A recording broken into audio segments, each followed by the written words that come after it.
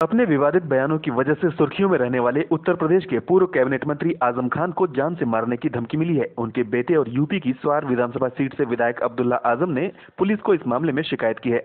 विधायक की ओर से तहरीर मिलने के बाद पुलिस मामले की जाँच में जुट गई है। अब्दुल्ला आज़म ने अपनी तहरीर में कहा है कि गुरुवार रात से शुक्रवार दोपहर तक उनके मोबाइल फ़ोन पर अलग अलग इंटरनेशनल नंबरों से कई बार धमकी भरी कॉल आई।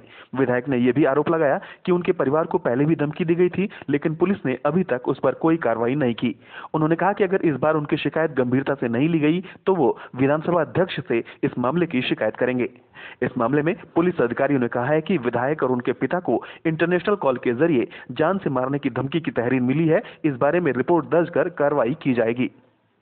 रेड नेटवर्क के लिए ब्यूरो रिपोर्ट।